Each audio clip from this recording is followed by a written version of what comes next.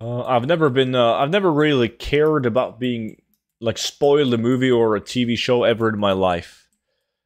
But there was one time when I got really fucked, and that was uh, in one of the Avengers movie. You know the uh, Avengers movie when uh, I said the story before when uh, Iron Man dies. Right? Uh, yes, spoiler if you haven't seen it. Too bad. It's fucking years old.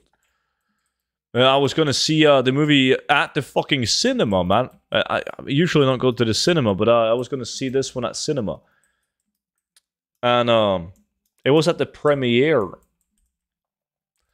And 4 a.m. in the morning, when I was posting my auctions, a naked level one in gnome goes running through Stormwind, spamming in slash yell, Iron Man dies, Iron Man dies. I'm like, fucking hell. Ja, puss mig av.